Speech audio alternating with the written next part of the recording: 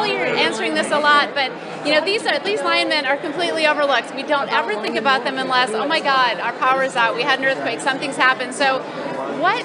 How did you get involved in the first place? What what drew you to this kind of story to, to bring their story to us? Wow. I mean, I I can't answer that question without pointing out Chad Dubay, who came to me, who's a former lineman, Okay. say, hey, I got this idea for a movie, and I think we should make a movie about some linemen. And my first reaction was, you want to make a football movie? And he's like, no, no, linemen, like the guys are going to put the power out. So we got into the store, and I was like, wow, this is really unique because we, we after doing some research, we realized a movie hadn't been made in this genre since 1937.